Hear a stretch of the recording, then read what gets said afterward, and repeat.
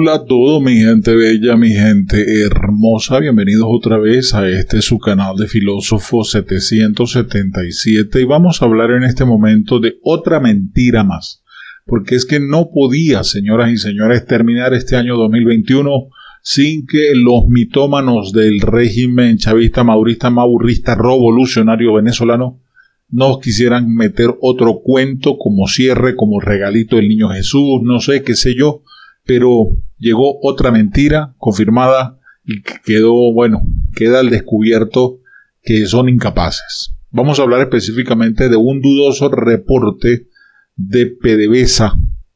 Así es, donde anunciaron que la producción ya había llegado a un millón de barriles de petróleo al día. Algo que es totalmente falso, pero conozca aquí los detalles, así que quédate hasta el final. La petrolera chavista ha recurrido a tácticas poco ortodoxas para aumentar su producción. También incluso estaría inflando los números en sus reportes de producción. En la víspera de Navidad, la estatal petrolera venezolana, bajo el control chavista madurista maburrista, anunció haber cumplido ya con su meta de finalizar con producción para este año. En un mensaje a través de la red social de Twitter, PDVSA informó que ya habían llegado a producir un millón de barriles de petróleo al día, algo que solo ellos se creen. La cifra es consistente con los reportes internos de la empresa que ha trascendido en medios internacionales. De acuerdo con estos informes, Tarek El ministro de Petróleo de Nicolás Maduro, el capo, habría tomado especial interés en cumplir con esa tarea. Después de haber ocurrido lo de la desaparición y la operación y bueno, todo lo que se habló de esa recuperación y que estaba bien y no y que sí, que bueno, en ese momento salió ahora a relucir de que sí había logrado los objetivos y que había superado el millón de barriles. El número más que un hito en la recuperación de la producción de la abatida empresa es un logro político. Los he visto a pesar de las amenazas del bloqueo, del bloqueo criminal de Estados Unidos. Aquí está un pueblo de pie, con dignidad y en la vanguardia, la clase trabajadora petrolera, dijo Tarek al-Aizami, el capo, según la red chavista internacional Telesur. La cifra exacta reportada por el chavismo es de que están produciendo un millón cuarenta y mil seiscientos sesenta barriles diarios. De esos corresponderían a la faja del Orinoco 577 mil barriles, a Occidente 242.850 barriles, a Oriente 211.740 barriles y gas serían 10.070 pies cúbicos. Igualmente no existe manera alguna de poder confirmar esta cifra de forma independiente si se toman en cuenta los reportes de fuentes secundarias de la Organización de Países Exportadores de Petróleo OPEP, hay una divergencia considerable. De acuerdo con los números de Tarek El Aizami, PDVSA produjo 824 mil barriles de petróleo diarios en promedio durante el mes de noviembre.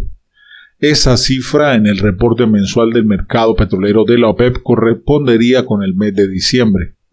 En el mismo informe, según las fuentes secundarias que corresponden a institutos independientes, PDVSA solo produjo 625 mil barriles diarios de petróleo durante noviembre, con una pequeña diferencia de casi 200 mil barriles. Podrán observar el tweet donde aparecen, obviamente, 24 de diciembre de 2021, un millón de barriles, un poquitico más arriba. Bueno, ahí ven ustedes la imagen. Sin duda, PDVSA ha incrementado sus niveles de producción y de exportación durante el año. En el mes de junio, el capo de la ISAMI era excesivamente optimista sobre lo que su gestión podría lograr. En muy buena difundida entrevista por el portal de noticias Bloomberg, el ministro madurista, el capo, dijo que la empresa llegaría a producir un millón y medio de barriles al día de petróleo.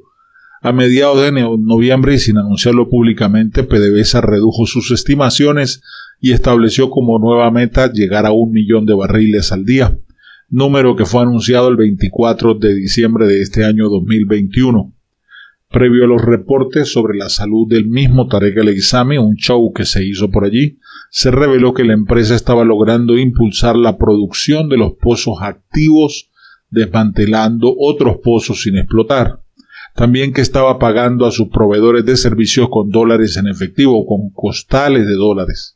Otro medio de pago es la chatarra metálica de los campos destruidos por ellos mismos, campos petroleros que pueden venderse en el exterior por una ganancia. Sin embargo, estos han quitado la chatarra para venderla por fuera. También la empresa con la que PDVSA contrata, que son empresas pequeñas venezolanas, la mayoría de reciente creación que no tienen ni experiencia ni tienen capital de respaldo suficiente. Más de la boliburguesía. Todas estas circunstancias ponen en duda la publicitada recuperación petrolera de la que alardea el régimen de Nicolás Maduro. Como dijo mi profesor, eh, mi profesor de contabilidad, cuando yo estudiaba contaduría pública, mi profesor en una ocasión nos puso a hacer un balance de comprobación. Y entonces nos mandó a cuadrar las cuentas de activo, pasivo y patrimonio del dicho balance. Y este personaje era tan impresionante que el hombre sacaba las cifras de su memoria, eh, hacía las cuentas, hacía puro mero cálculo, y después decía cuadre en el balance y daba exacto. Daba exacto. Y en muchas ocasiones él empezaba a analizar y había confusión de en algunos entre las cuentas que eran activos, las cuentas pasivos eh, o las cuentas de patrimonio. Y de repente él le dibujaba en, la, en el test, colocaba una porra, un martillo eh, de esos grandes, colocaba una porra allí y, la, y le colocaba un cincel y un gran signo de interrogación en rojo y decía esto lo cuadraron como. ¿Sí? Porque daba lo mismo en una columna que la otra. Habían gente que llegó y totalizaba todos los saldos que nos dio, lo dividían en dos y después cuadraban las cuentas al Team Marín de Dopigüe, de tal manera de que quedaran bien cuadradas. Los que no, no habían estudiado lo que era la teoría del cargo y del abono, lo que eran las, las cuentas. Bueno, yo creo que esto le pasó aquí a PDVSA. PDVSA se puso a inventar números y dijo, bueno, vamos a ver de dónde sacamos el millón saquemos de las cloacas 50 mil, saquemos de este lado 30 mil, saquemos del otro lado 20 mil y completaron el millón. Pero cuando usted va a ver la realidad, todo está disparejo y el millón no es millón, el millón realmente sigue siendo los 800 mil que seguían atrás. Eso es lo que está pasando y eso es lo que quieren difundir y así está quedando en evidencia ante el mundo entero, señoras y señores, que el capo de PDVSA, el capo Tarek El no es más que otro mitómano con gran experiencia para las mentiras, pero que bueno, igual ha quedado al descubierto. Vas a tener que pagar, señor capo.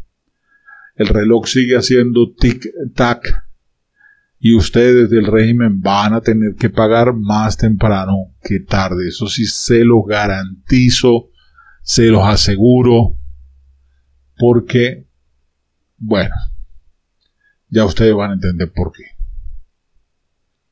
Me voy con la frase del día, sobre todo aquellas personas que a veces se sienten tristes, traicionados. ¿sí? Déjame decirte la frase que dijo un sabio.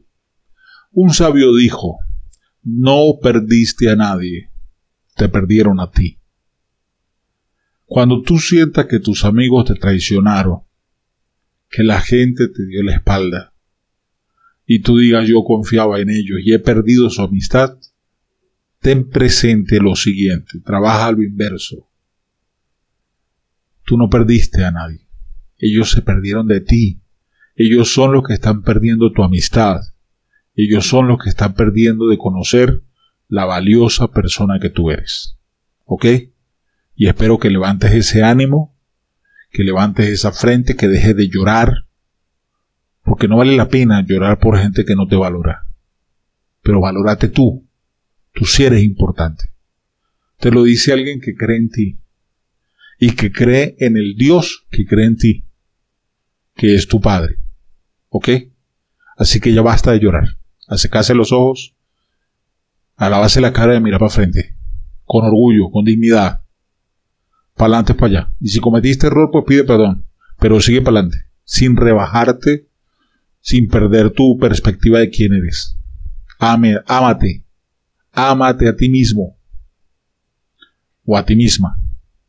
Bendiciones. Con esta me despido. Un abrazo, costillas. Los quiero mucho.